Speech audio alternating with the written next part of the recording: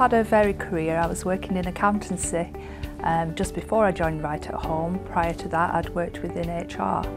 Um, I'd had a long stint as an HR manager.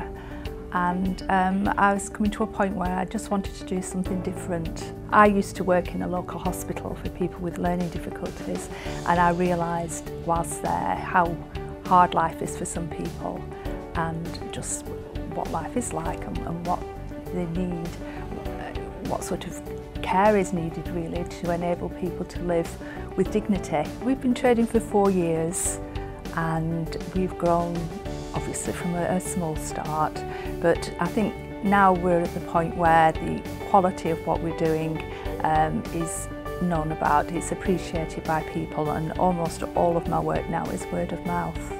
It's really difficult to say which are the most rewarding parts because they all are and I can't say what I'm most proud of. I suppose I'm most proud of my staff because it's the staff who make the business. Uh, they're a fantastic bunch. They really, they all go out on a limb. They're all really keen, they're all lovely people and it's that that helps the business to grow and for us to gain the reputation that we have. It is lovely to work uh, within an area where you're doing something really worthwhile and people really do appreciate it and it just gives you a really warm feeling. It's good.